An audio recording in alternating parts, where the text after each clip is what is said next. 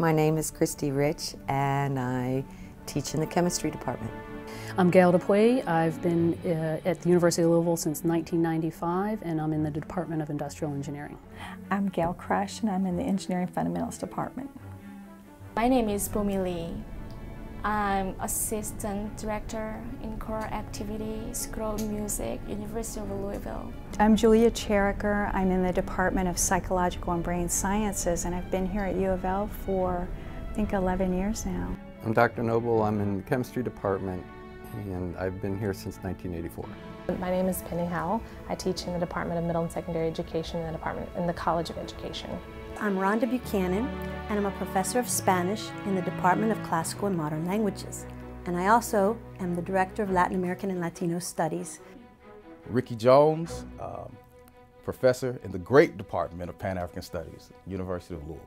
I'm Roman Yampolskiy. I'm an assistant professor in the Department of Computer Engineering, Computer Science at Speed School. It's my fourth year at UofL.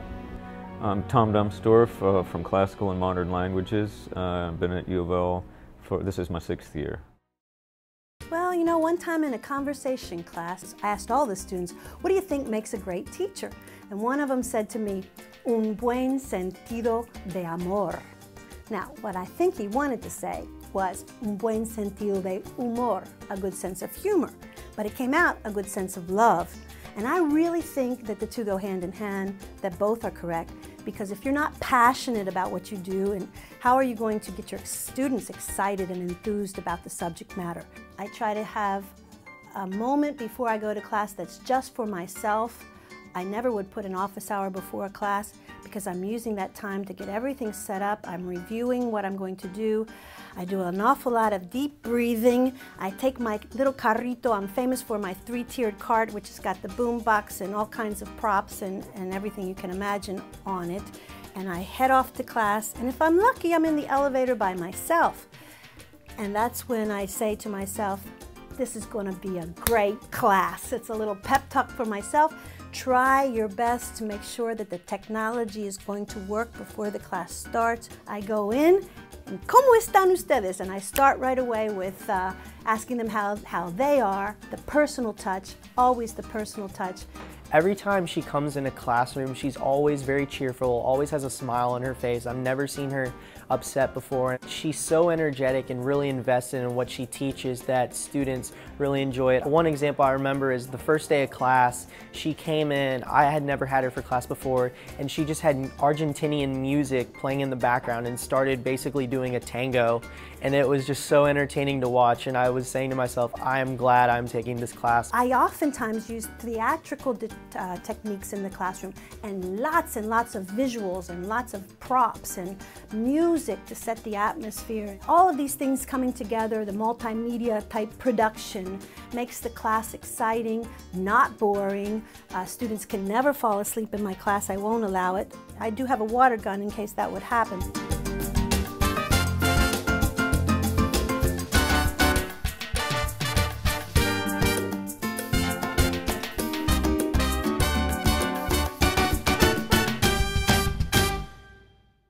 The most important thing that I try to do is create a relationship with the student that is filled with trust and respect.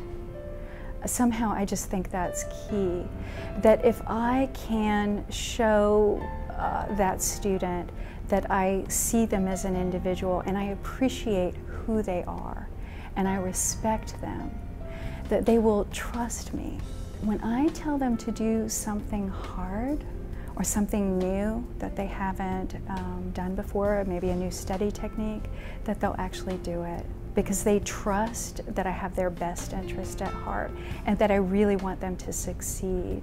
It was unreal how enthusiastic she was about the material and you could see her face light up when she was teaching us. You know, she would talk about something and you could tell she'd get butterflies inside, you know, thinking about how interesting this is and how she was really happy to be teaching us that material. But she really wanted us to understand, you know, all these different ways that we can effectively study, not only for her course so that we could do well in that, but also um, so that we could do well in college in our other courses. I think that's what I've most applied from that course. So I think our response to the students when they ask the questions is key. I respond in a very interested manner and I, I just try to find the value in what the student is saying to me. And there, there is always value in what they're saying. I think that's reinforcing.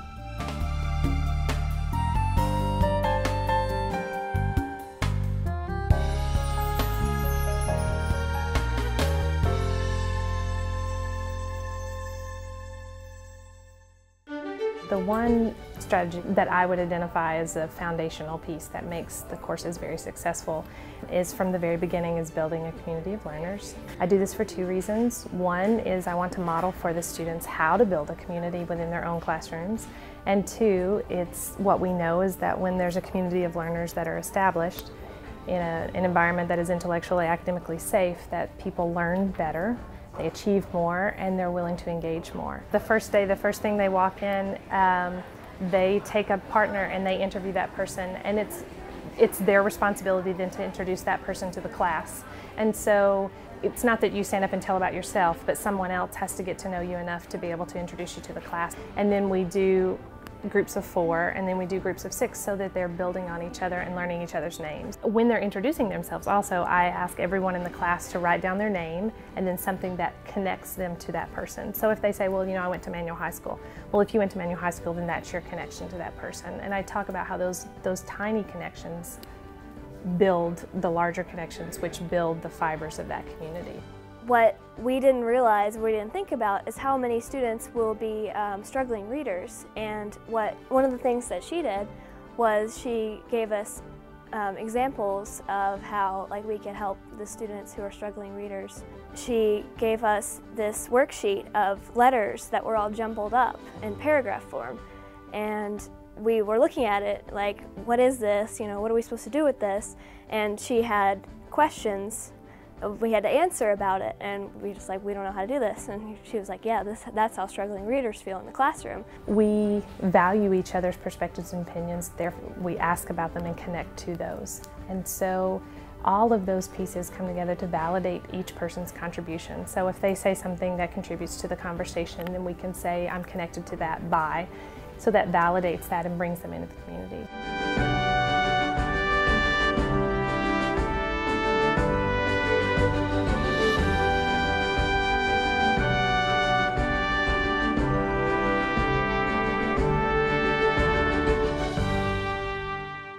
At first, they're just trying to keep up with the, you know, the subject material. They're interested in, in getting their homework done and, and doing well on the tests, which are all important things.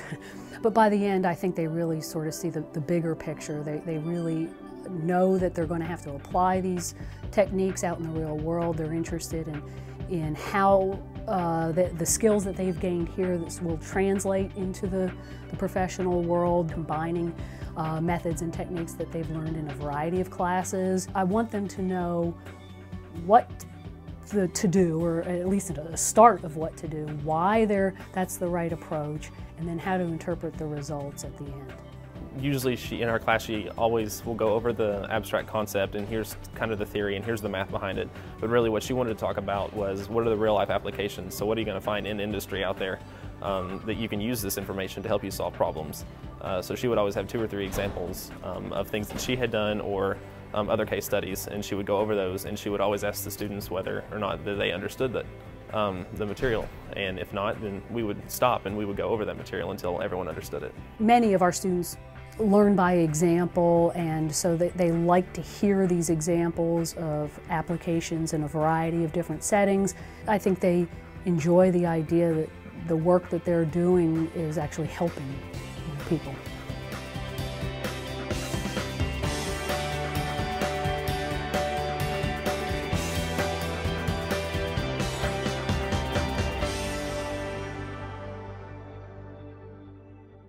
I'm most proud of integrating research and education. As soon as the students are capable of doing any type of serious level work, usually by second, third year, I give them real world problems. The assignments I give them are actual research problems which if they succeed at solving, we publish papers. Last semester we published three papers based on student homework assignments. Journal papers, conference papers, workshop papers. It uh, really gives students uh, boost in self-esteem. They don't know it's a real problem. They think it's a homework problem I made up. Later on they realize, hey, no one came up with this solution before. When I firstly start uh, as to, to, to, select my research uh, area, I mean, I, I didn't have uh, uh, an, an, idea or I mean, what should I work in. He gave me the, the starting point of my research and uh, like he put me in the first step, how to start and go ahead and he always like directed me toward achieving my, my final goal. If you give them a problem and tell them it's a very difficult problem, no one knows how to do it, they're gonna fail to solve it, obviously. But if you don't tell them exactly how hard it is, just tell them it's a homework assignment that's due next week, maybe one of them will manage to solve it. There are lots of examples in history where well-known unsolved conjectures were solved as homework assignments. I always try to work on the most difficult problems because if they succeed completely, it's going to be very impressive.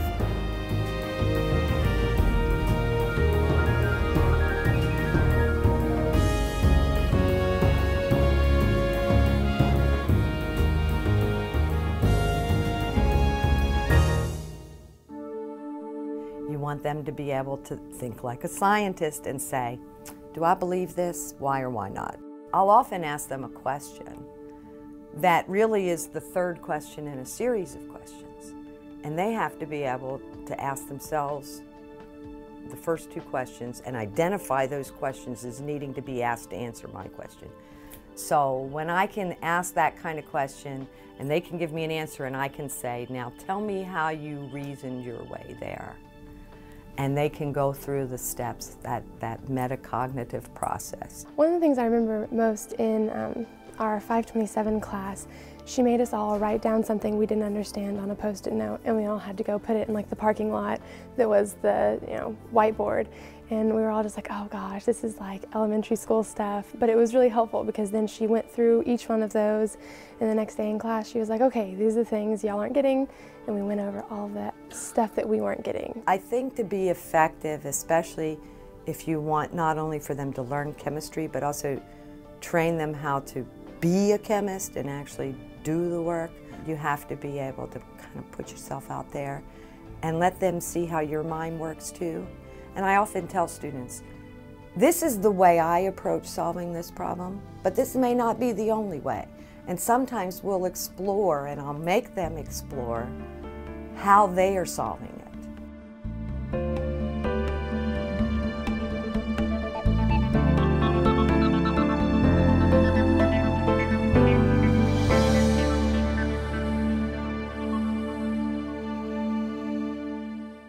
Trust people, and then when I when I show that my trust for that, they always give back to me that trust even bigger than what I gave. That's so incredible.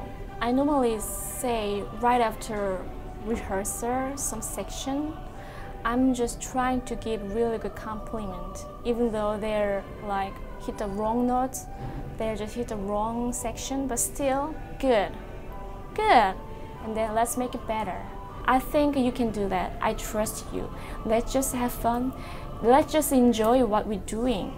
The most interesting thing about her is the humility that she has when teaching because never at any time do you feel like she's sort of telling you what to do because this is what you do. She's just so good at what she does and wants you to share in that with her. On the stage 911 concert, that's so fantastic because after entering the stage and then I just came to stage. After bow for the audience, I stand on the podium and I start, I just watching their eyes. There I say like, here we are, we are ready.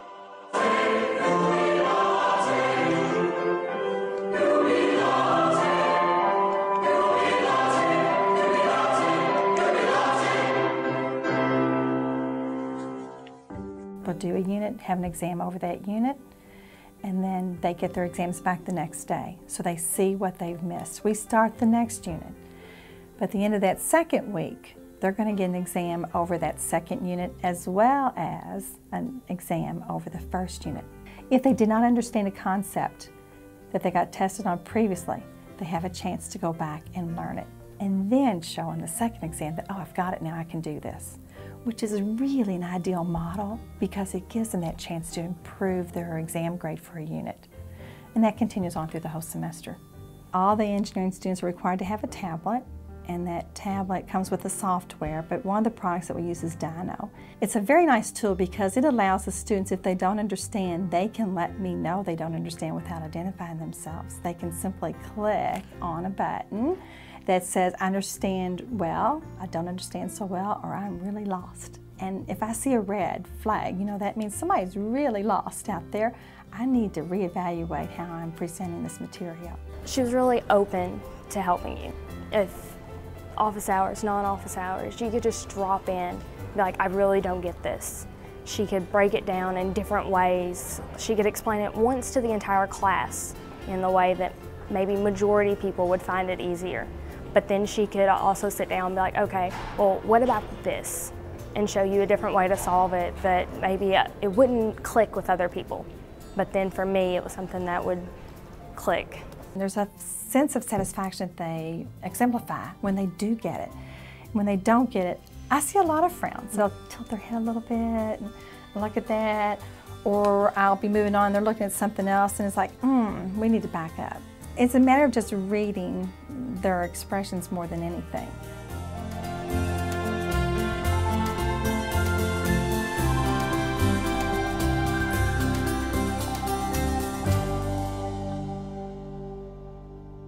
I'm always reaching into my, my bag of personal experiences because I, I, have this ability to remember like moments where I learned various words and expressions and more often than not they, they involve some sort of humorous or interesting story. I'm always trying to, to relate not only you know uh, from their the side of their side personally but from me as well. So by the end of the day you know they know so much about me more so than probably they need to and I know a lot about them. That's what makes it, you know, interactively fun. In order to encourage success in a, within a student, you have to you have to be able to put yourself in their shoes. Always be able to take into consideration uh, the student as far as their their personal situation, their what they're bringing to uh, uh, the table as far as is what keeps them from maybe making it to class on time or what keeps them from, from doing the homework or what keeps them from being able to remember, you know, 20, 30, 40, a couple pages worth of vocab or expressions or stuff. I think one of the things I love about Dumpsdorf's ability as a teacher is that when you come to the classroom, it's not so much a rigorous course where you're learning Russian. It's just a conversation table and uh, even if you make a mistake, you know, he's not there to criticize you or uh, chastise you. He's just there to help you and help further your knowledge of the language. I remember that the hardship that I had uh, as an undergraduate, I mean, I, I flunked out of school once. You know, I, put, I just put myself in their place and try to encourage them, you know, you know, at the moment of failure or, you know, lack of any great success that, that this isn't that this isn't the end of the world because, you know, you always you know, have the opportunity to, to pick yourself up and, and start again.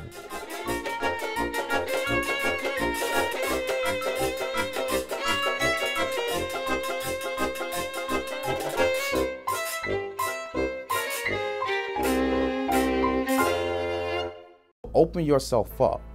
Be vulnerable and open enough to know that you can learn from your students and let your students know that. So then they're gonna feel like they're participants in this, you know, your partners. It's not, you know, such a, a, a, vertical thing, it's more horizontal at times. You can't lose control of your classroom, obviously, but the, the students have got to understand that you're a human being who can learn too, and you got to understand that you can learn too. Then you'll let them talk, you can learn from them. You know, being a mentor is a very different thing than being a teacher. Now you, you push your mentees harder than, than you even push, you know, students in, in general. And this is a little bit different for me too, and I have to say this because I'm a black male, and most of my mentees are black males. That is really an endangered population of people in higher education. You look at this country quantitatively, we got more black males in jails and prisons and somehow affiliated, associated with the criminal justice system than we do on the campuses of colleges and universities.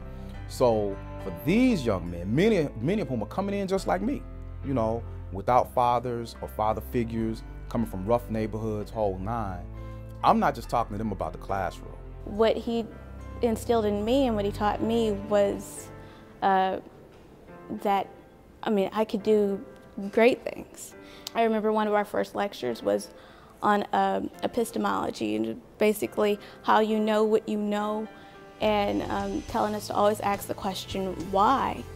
And that for me went into a poem that I ended up writing called Epistemology, which later evolved into a book without, you know, him telling me you could do it.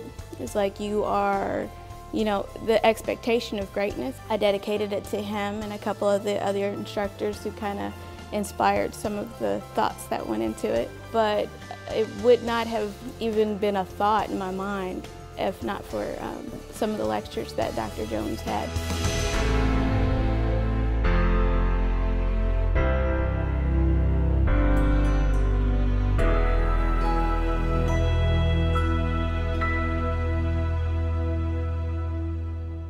I don't just teach, I study my teaching.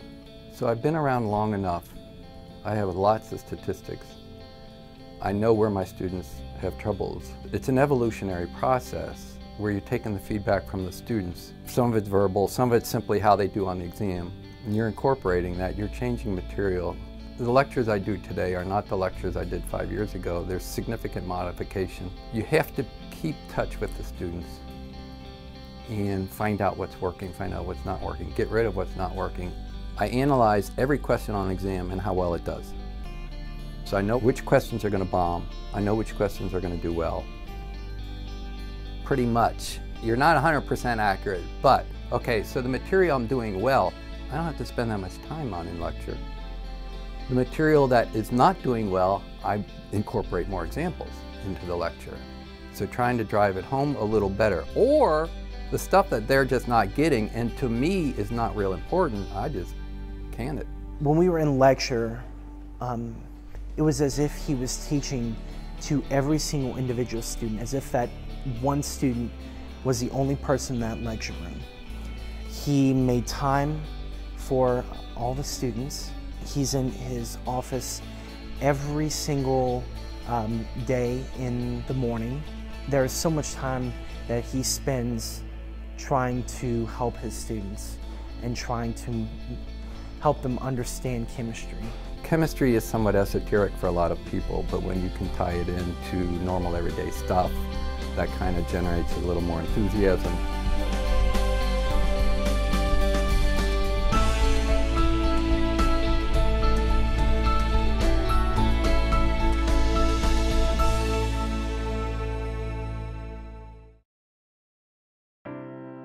Dr. Yampolskiy, thanks a lot for everything you've done to me and uh, I hope that we finish what we have started uh, very soon. Dr. DePuy, thanks so much for being in, more involved um, uh, in my career as a student. Um, I've had a lot of teachers that don't know my name and you know my first name, you know my last name. Just making your classroom fun and enjoyable to go to and something you can look forward to every day.